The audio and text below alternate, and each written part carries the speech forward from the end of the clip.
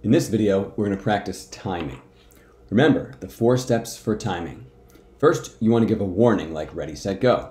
You always want to take several trials and then take an average. You also want to round your uh, average. We're going to round to uh, one tenth of a second, like 19.3 seconds. You also want to have your team members check your work. Let's try one together.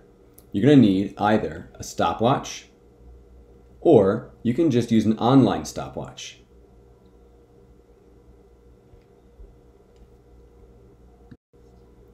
I will say ready, set, go. When I say go, you start your stopwatch. I will then say three, two, one, stop, and you will stop your stopwatch. And hopefully we get around the same time. Are you ready?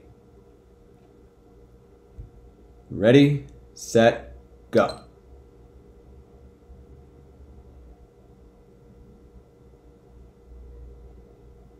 Three, two, one, stop.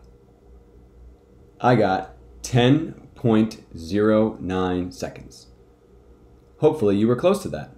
A small leeway is always acceptable when taking a measurement, but you need to be as accurate as possible. Let's try a second one. Ready, set, go.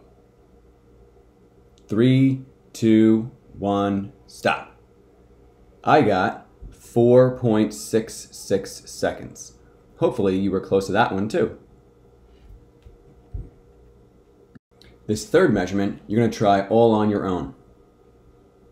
Get ready. Reset that stopwatch. Ready, set, go.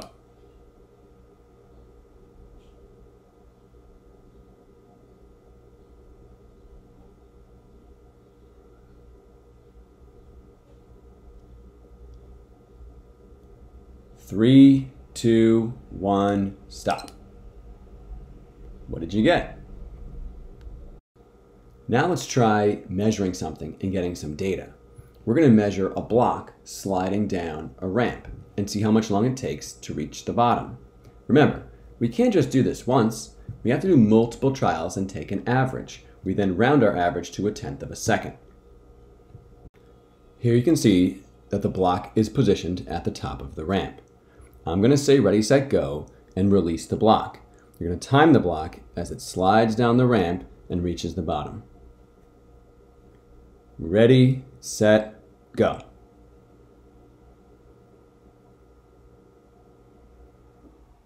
What time did you get? Write that down somewhere because you're going to do two more trials and then find the average. Here's trial number two. Ready, set, go.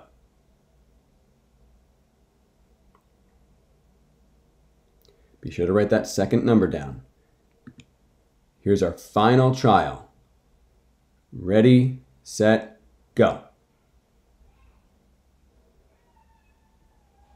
Now that you've completed all three trials, it's time to average the results.